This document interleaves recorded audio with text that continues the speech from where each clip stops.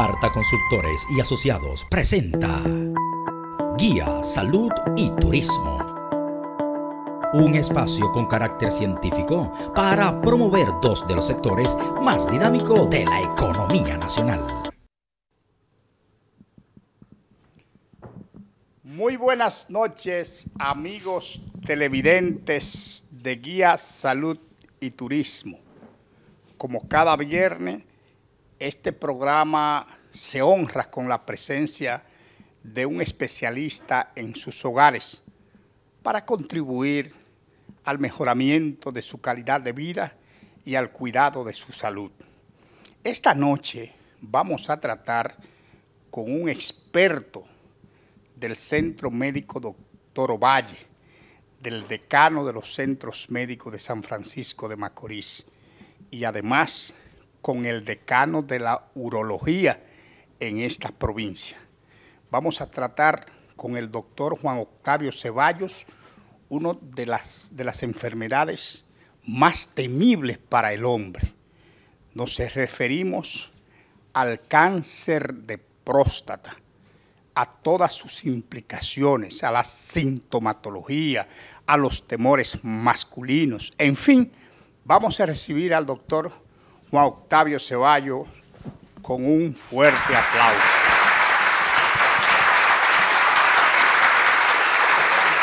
Placer, Ceballos. Es bueno tenerte aquí entre nosotros. Vamos a hablar de uno de los temas, de una de las enfermedades a las, a las, que, a las que los hombres le tienen más miedo. Los hombres somos pendejos por naturaleza a las enfermedades, no hacia la guerra, no hacia el valor, pero a las enfermedades somos cobardes. Y yo lo digo por mí, no por ti.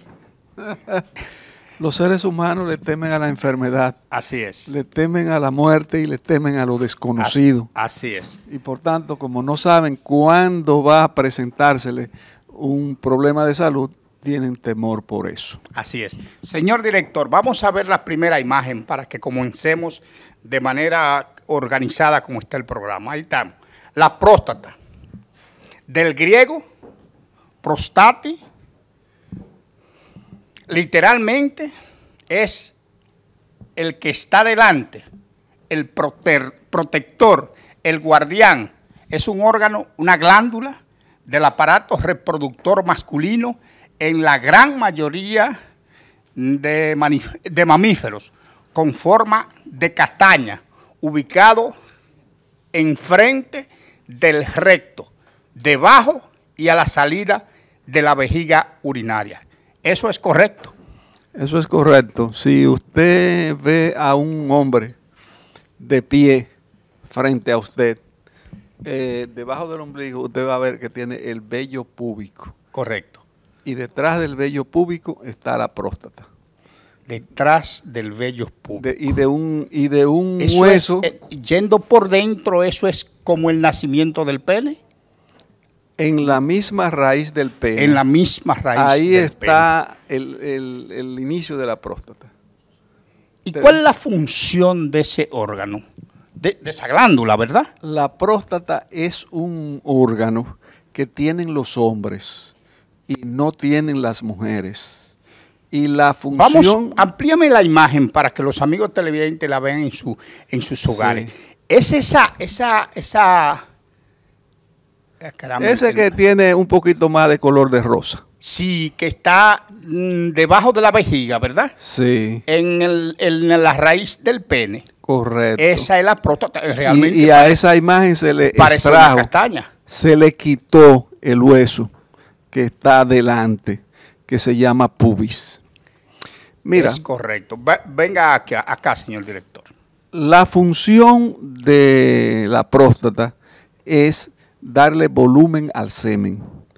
Hay dos órganos que le dan volumen al semen, que son las vesículas seminales y la próstata, porque lo que se excreta del testículo, que son los espermatozoides, es microscópico, no se ve a simple vista. Entonces, la próstata es un órgano que es el problema de los hombres, porque es el órgano que tiene más enfermedades. Como el universo es dual y está lo blanco, lo negro, lo femenino, lo masculino. ¿Hay algún órgano en, o, glándula en la mujer que sea lo, la- lo contrario de la próstata en el hombre? Bueno, sí, el- el- el- para homologar, Para- quieres decir que sea Sí, sí. lo correspondiente. Co- exacto. Claro, el útero, El útero. claro. El útero es como decir Sí. la próstata de la mujer. Y, y ubicado incluso en sitios similares. Tiene la misma función. No, No, porque no le la, da fu- la volumen al- función... no le da volumen la- al semen. No, las secreciones de las mujeres eh, que la tienen al tener relaciones sexuales eh, es de glándulas uretrales, periuretrales, eh, y la, el- el- las mujeres no tienen semen porque ellas lo que aportan es un óvulo. Y el, el óvulo se produce en el ovario. Los hombres no tienen ovario ni tienen útero. Entonces, esa, ese óvulo Qué bueno. viaja por la viaja por las trompas y llega al útero. Qué bueno. Vamos a ver la siguiente imagen. Ahí tenemos una próstata sana, abierta. Sí.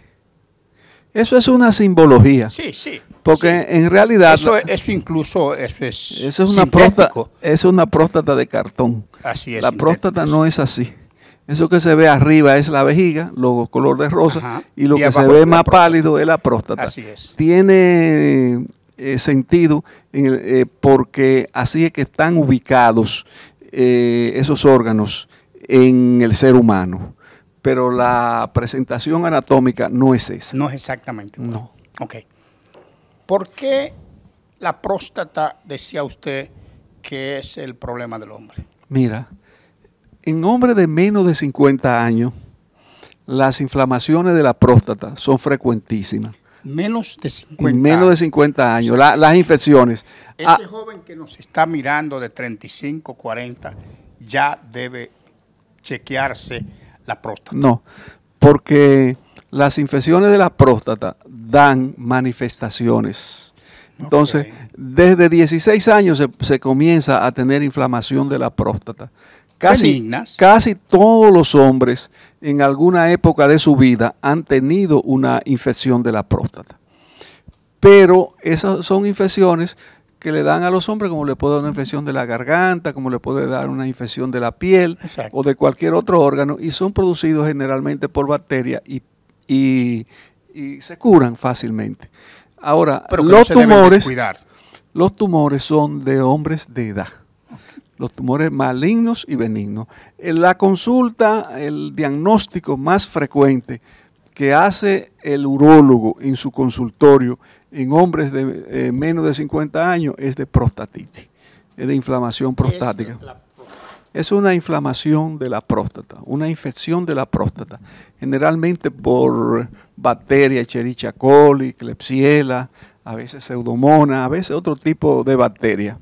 Ahora, lo que hay que precisar es, la gente se pregunta, bueno, ¿y las relaciones sexuales ayudan a, a que la próstata se enferme más o se enferme menos?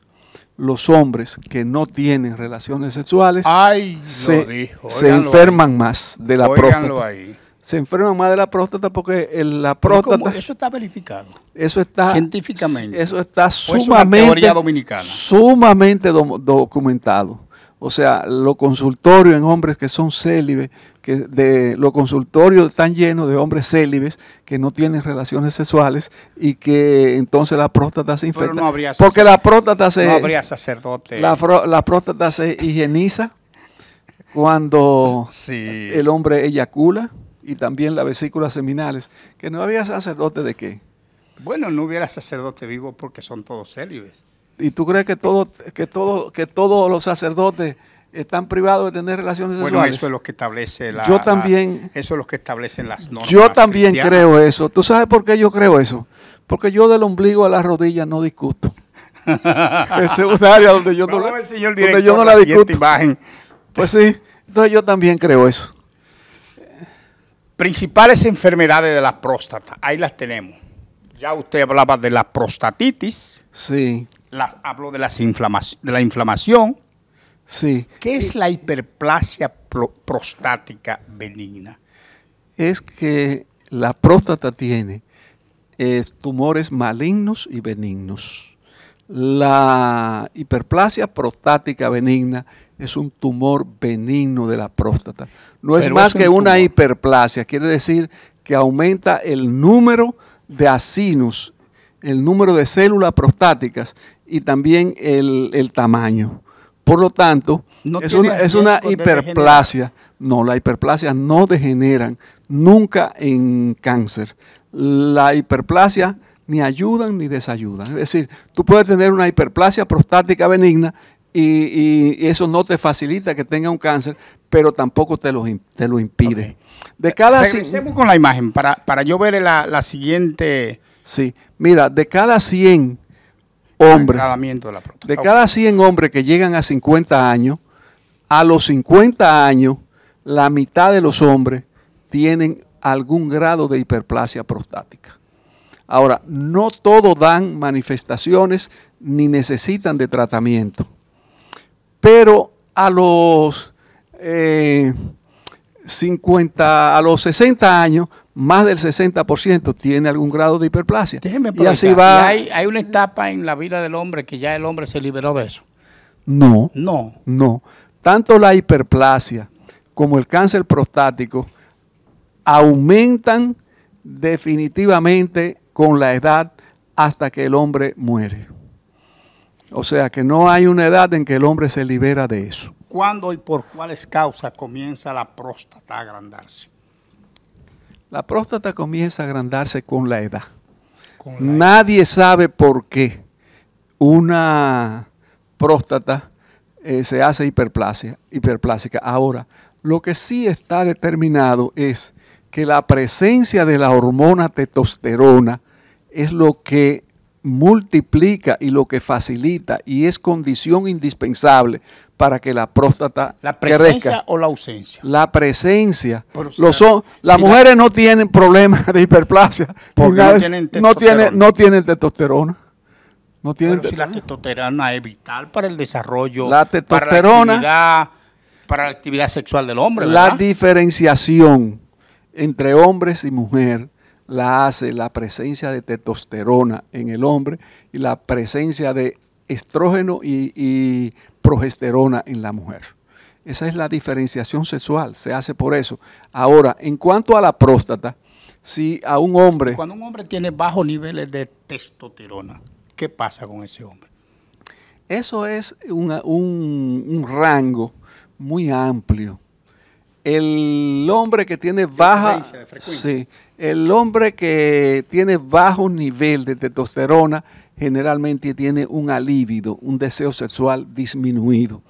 Y si, si es grave, si es crítico el descenso, entonces tiene problemas para sintetizar, para formar, para producir los espermatozoides, porque los espermatozoides se producen en el testículo en una célula que se llama célula de Leydig y necesita la presencia de una hormona para poder producir el espermatozoide, que es la hormona luteinizante, que además es el promotor de la producción de testosterona.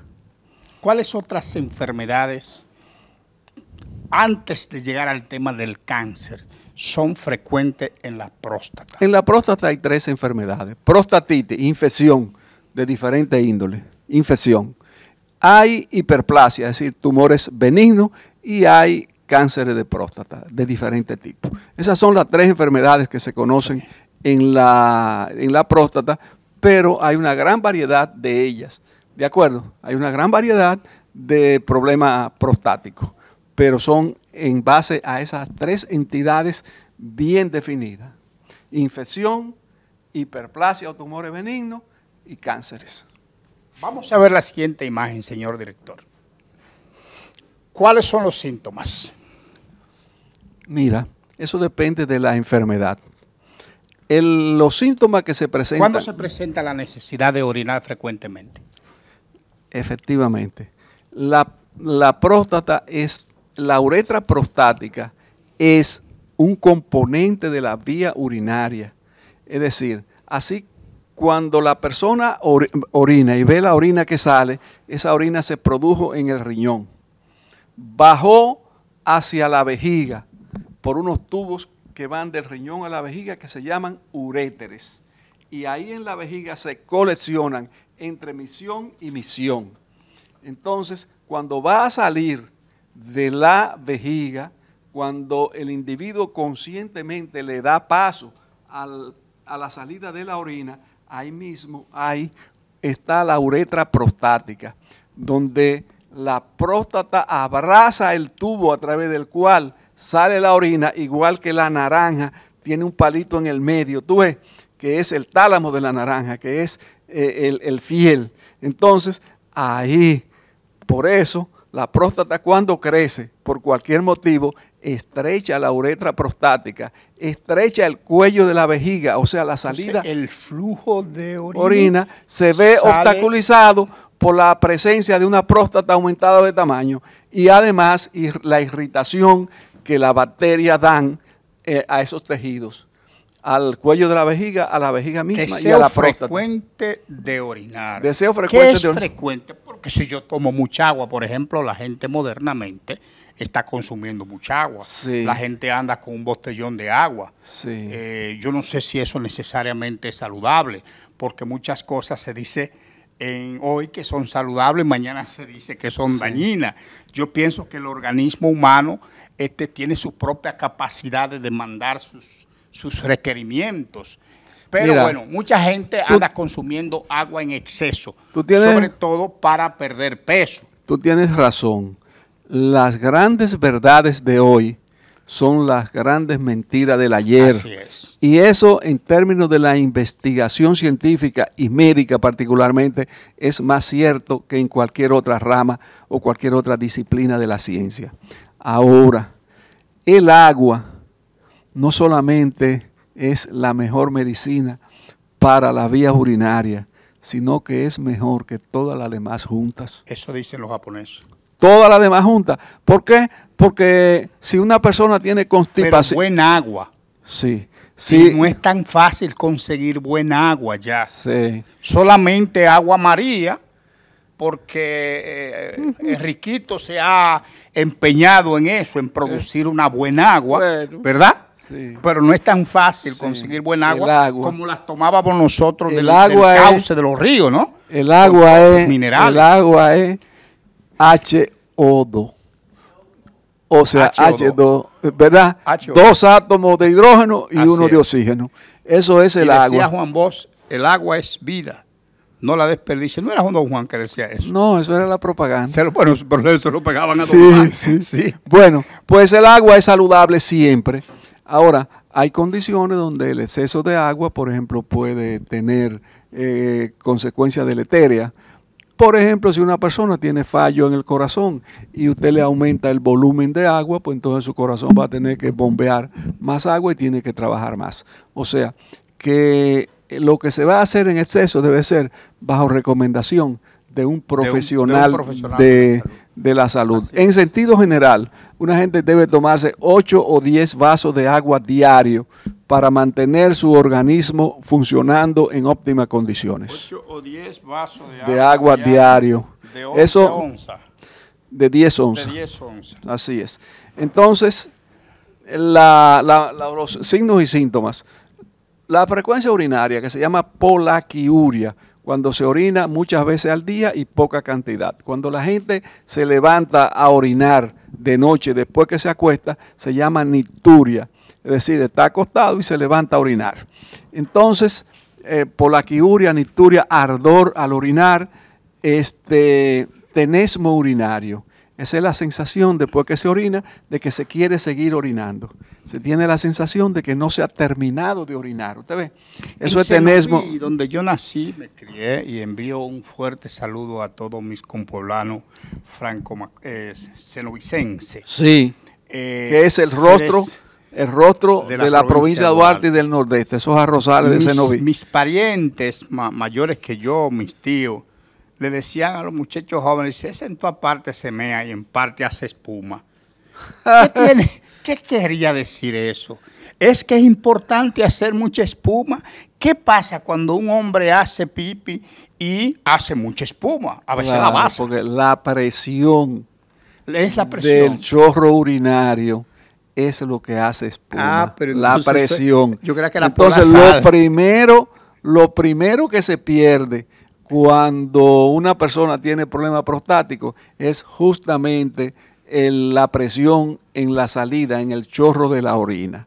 Por e- la gente empieza a orinar con un chorro más fino, de menos presión, el camarógrafo y llega a bien. tener y llega a tener eh, hasta orinar por goteo. Naturalmente que el joven, ¿verdad que sí?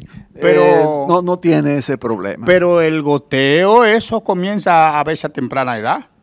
El gotereo sí, después que eso es dependiendo. Por ejemplo, la prostatitis, pues una gente joven que dice, bueno, pero a mí me arde al orinar, estoy orinando muchas veces ¿Por al día, me duele aquí adelante, debajo del ombligo, y, y además eh, gotereo al final de la misión, pues ya tú sabes, ahí está hecho el diagnóstico de prostatitis. Yo lo digo porque yo tengo una hija que eh, cuando yo estaba pequeñita iba al baño y salía a averiguar Sí. cuál de los varones había ido al baño. ¿Por qué? O sea, ¿quién fue que fue al baño? ¿Eh? Sí, yo supongo que era porque le gotereaban la orilla del, del- del sanitario, ¿verdad? Claro, Qué cosa que es muy desagradable. Eso es un problema que eh, lo el problema de los hombres que goterean, la mayoría de los y que hombres se gote- sepa que no era el papá. No, no, lo que pasa es que el, el- el sanitario, el toilet, el- la, apertura del sanitario, El- el- la tiene ¿no? eh, la- exactamente, el hombre tiene que acercarse, Sí. sea joven o viejo, tiene que acercarse y tener una dirección del chorro Una de orina para que no caiga afuera. Y muchas, muchos hombres, la mayoría, llegan fu, fu a orinar y no se fija si está cerca Sí. o no Sí. y se goterean afuera. y las mujeres entonces mujer pelean eso. Sí, eso es molesto. Eso es así. Eso es molesto Sí. hasta para el hombre mismo. Y además tienen que además levantar, levantar la tapa. la tapa. es Claro, una, una claro, cuestión claro. De, de educación Así y de- es, elemental. ¿no? De respeto a los es. demás. Señor Eh, director, vamos a ver la siguiente imagen. Bueno, eso sí que le tenemos miedo. Ahí hay dos imágenes de tacto rectal. El tacto rectal se dice todavía que es uno de los métodos de exámenes más seguros y que incluso es más seguro que hacerse el antígeno prostático. Sí. Pero que los hombres le tienen terror. Nada más hay que ver cómo está uno ahí, cómo tiene esa cara de miedo, aunque dicen otros que después de eso salen sonrientes y felices. Bueno, ¿Será mira. cierto eso? En primer lugar, cuando una enfermedad prostática, excepto la prostatitis, se hace evidente al tacto rectal es porque está avanzada, ya avanzado. El chequeo prostático que debe hacerse un hombre, debe hacérselo y no se puede prescindir del tacto. No se puede. no se puede prescindir del no, te- tacto. no se puede un hombre Además, los hombres que. Los hombres que no son, que no tienen tendencias homosexuales, no le tienen miedo al tacto, porque saben que eso es un examen igual que otro cualquiera. Entonces, Se cree como que el miedo a eso es un temor a salir del closet.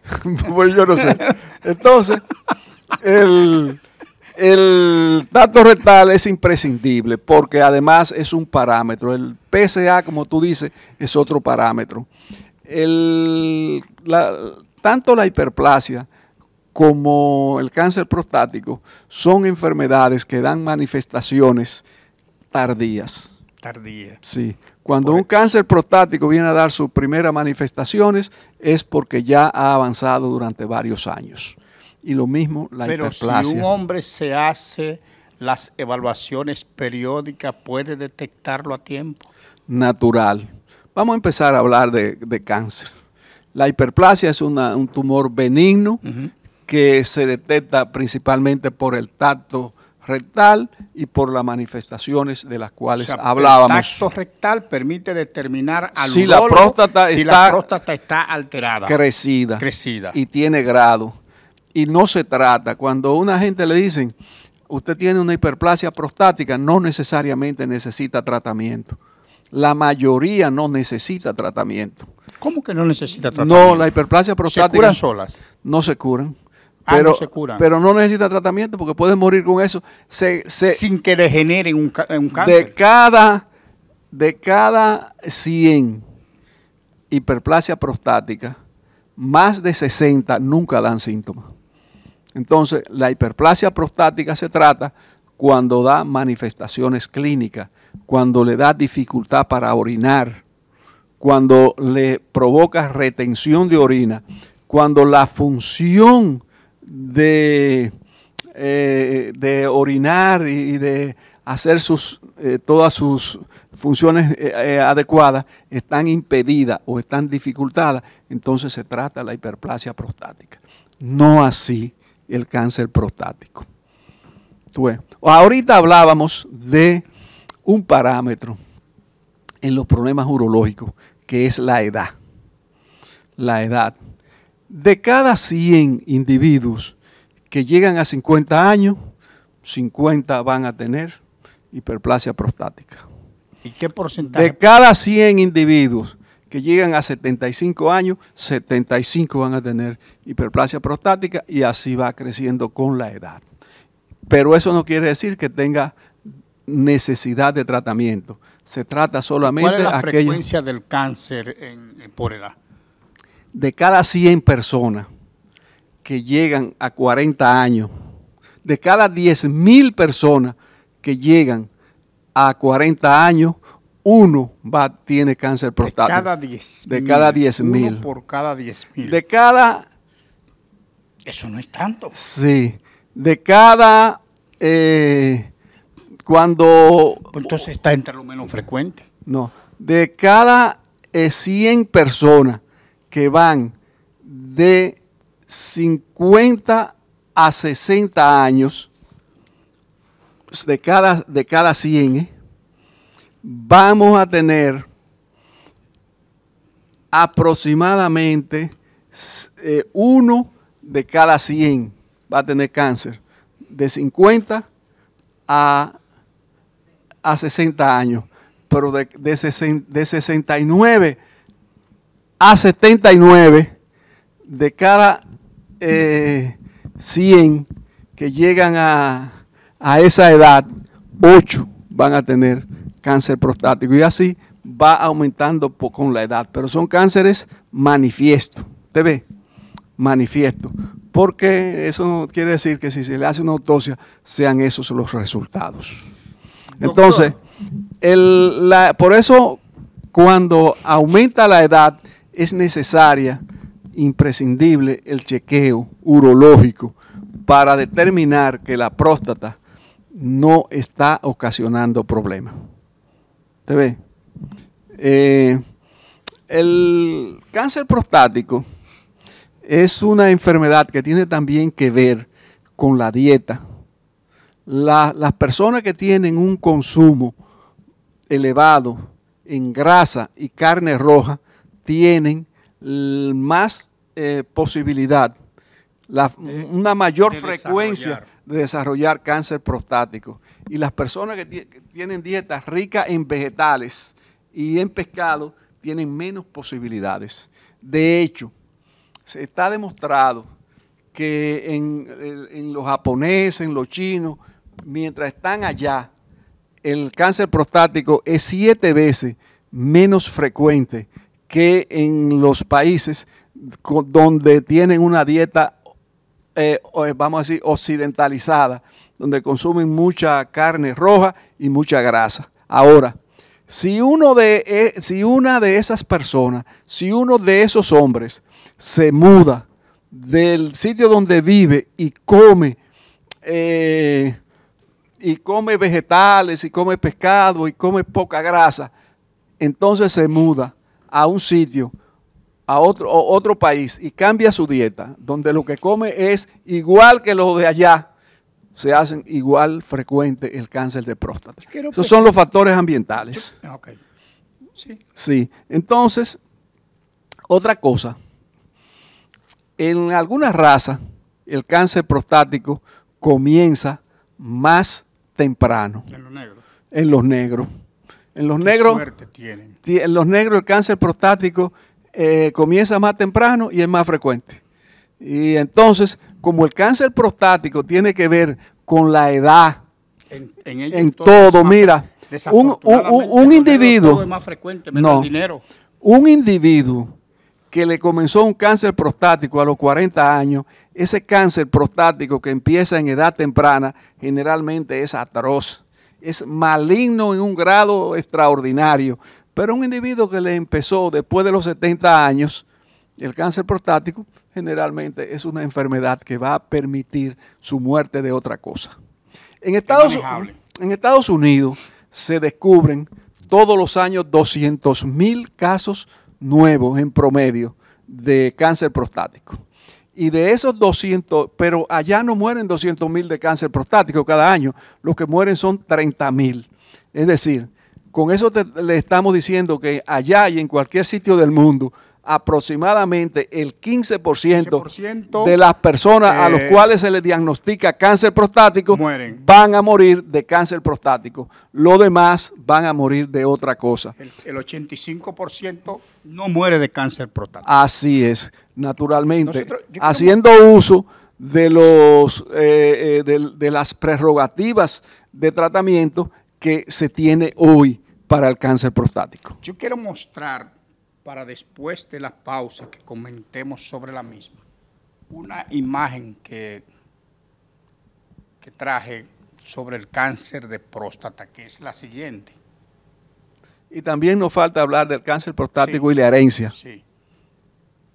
A ver, señor director, la siguiente imagen. Ok. De esa imagen, es una imagen con cáncer de próstata.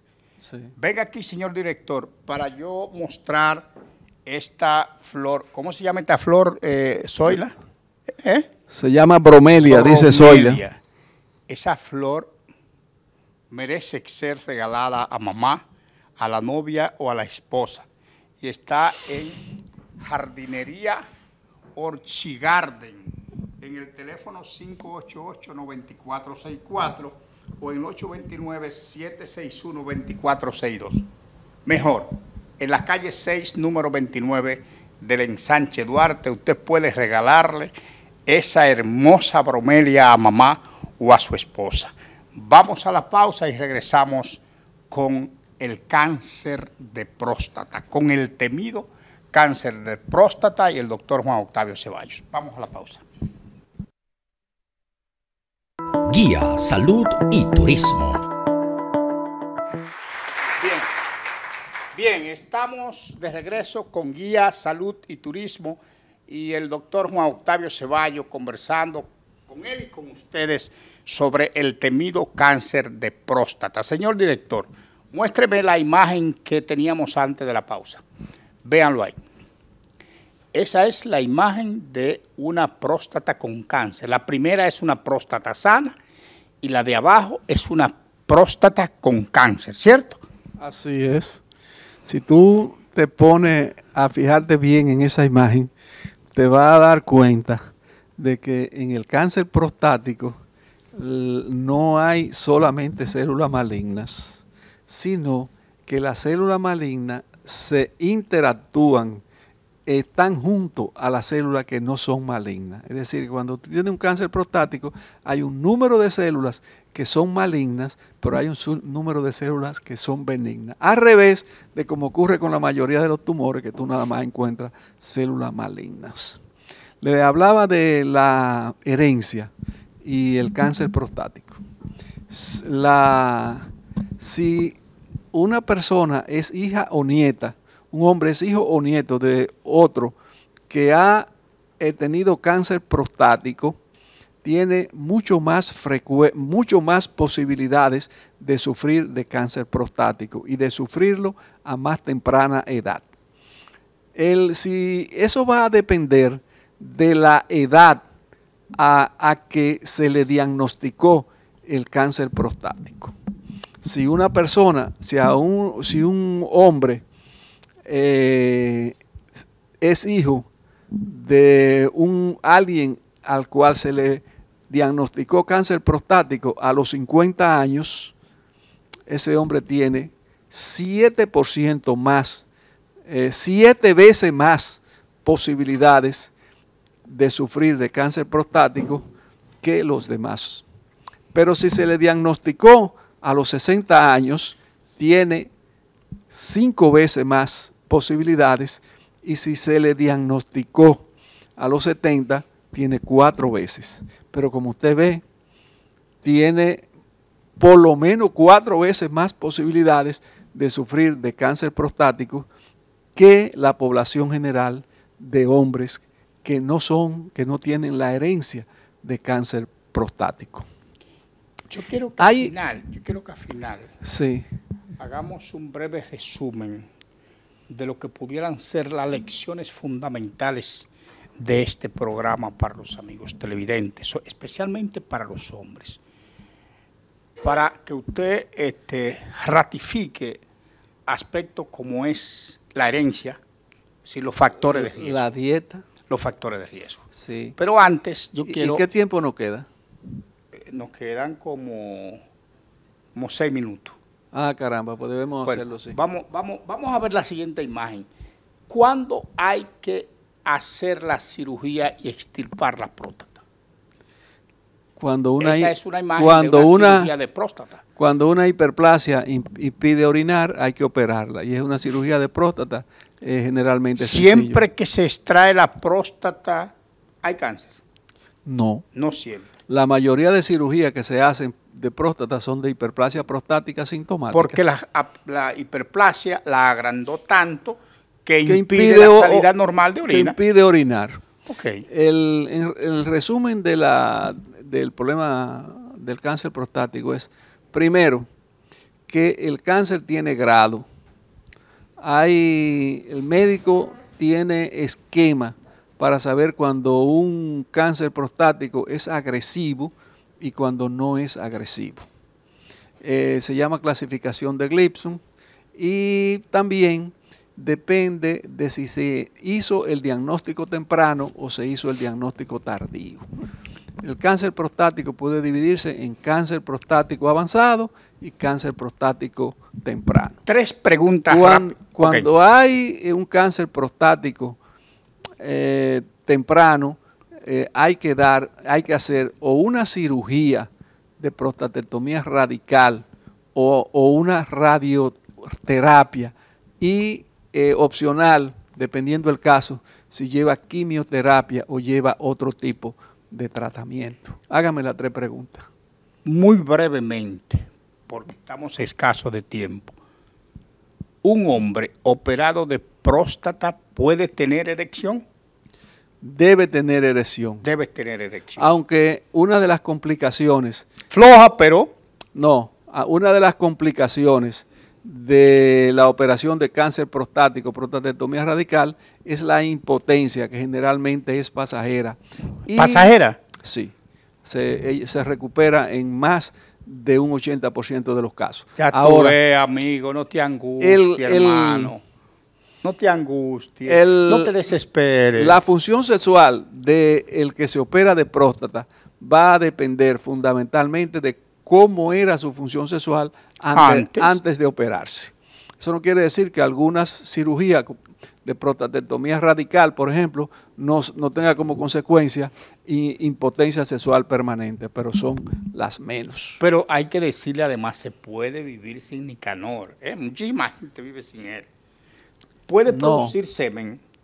No, los operados de, de la próstata, tanto de hiperplasia como de cáncer, generalmente no vuelven a tener hijos, porque en la vesícula seminales y la misma próstata eh, se vacían en la uretra prostática, en una estructura que se llama verum montanum, y esa estructura se va cuando se hace la cirugía. ese amigo Entonces el hombre eyacula, pero el semen se va hacia la vejiga. Entonces, la sensación de que, de que eyaculó, el goce de las relaciones sexuales, sigue igual. El orgasmo. Lo- lo- el orgasmo, pero, pero no, el semen no sale hacia afuera. Esa es la realidad. Y, ¿Cuál y es la otra entonces, y entonces esa mu- muchacha que está casada con un hombre operado de próstata y le dice, viejo, estoy embarazada de ti. ¿Qué pasó? eh, lo que le pasó al viejito en el, en el zoológico. ¿Qué le pasó al viejito en el zoológico? Ah, que un viejito se metió a la, a la celda de los leones y entonces y venía un león a comérselo y él no tenía más nada que un paraguas y le apuntó con el paraguas y vino el león, pan y cayó muerto. Pero que ya nada más tiene relaciones con él. No, lo que pasa es que el león cayó porque otro le tiró. ah, qué bien, muy buena la moraleja. Sí. Doctor, un resumen breve de los factores de riesgo. La y la herencia. necesidad que tiene el hombre. Por ejemplo, yo quisiera que este programa sirva para demitificar el tacto rectal. Mira, el, O demitificar el miedo. lo al primero rectal. es decirle que la mayoría, la inmensa mayoría de la gente a la cual se le diagnostica temprano un cáncer de próstata muere de otra cosa, porque hay tratamiento para ello. Que la mayoría de la gente que eh, se- a la cual se le diagnostica un cáncer avanzado muere de eso. O sea, por lo tanto, el chequeo periódico a tiempo es lo fundamental para que se puedan tomar las medidas que eviten las complicaciones del cáncer de próstata, porque el paciente que tiene, el enfermo que tiene un cáncer de próstata, muere de la siembra, de la metástasis de, de ese cáncer a otros órganos. Este, después decirle que el cáncer de próstata ¿Hay riesgo de recidiva después de la cirugía? hay riesgo de, de recidiva siempre. ¿Por qué? Porque hay estudios que te dicen a ti si el cáncer se ha generalizado, gammagrafía ósea para ver si hay metástasis en los huesos, tomografía axial computarizada de todos los órganos para ver si hay siembra, pero hay siembras que son tan chiquitas que todavía los estudios que se le hacen no pueden diagnosticarla. Y además, el cáncer de próstata es un cáncer que da siembra en los huesos, que da siembra en todos los órganos, que da siembra en, lo- en los ganglios. Es un- una Se posibilidad. reproduce eh, Cuando da con siembra. deleite en todos los órganos. Claro, entonces eh, tú, por más que estudie, no puedes determinar si hay siembra o no, excepto por los niveles de PSA. O sea, hay tú, el PSA crece, es un- ese es un antígeno Bueno. que sirve para el diagnóstico de cáncer prostático y se eleva cuando eh, hay más tejido prostático y cuando hay siembra por natural, hay más tejido prostático. Bien, doctor. Hemos llegado al final, yo creo que de un gran programa, un programa que orienta mucho a los hombres para la educación de su salud, para el cuidado de su salud, sobre todo de la salud de uno de sus órganos más importantes, que es su, su órgano reproductivo y, y como consecuencia su, todo su sistema urinario, que es el cáncer de próstata. Yo quiero despedir al doctor Ceballos con un fuerte. Ustedes pueden localizar al doctor Ceballos en el Centro Médico Doctor Ovalle con el teléfono 809-481-8230. ¿Cuál es el teléfono del consultorio? 809-588-3618, Extensión. 257. Extensión No, 250. no, no, porque el- la- el- ese teléfono es directo. Ok. Ahora, el teléfono del Centro Médico Doctor Valle es 588-2596 y yo tengo una extensión que es 257. Ahí tiene usted Pero son los dos resueltos. teléfonos, el Ok. 3618 y el 2596. Perfecto, ahí tiene usted resuelto su problema de próstata en manos expertas garantizadas. Amigo, le damos la gracias por su sintonía a Guía Salud y Turismo. Barta Consultores y Asociados presentó Guía Salud y Turismo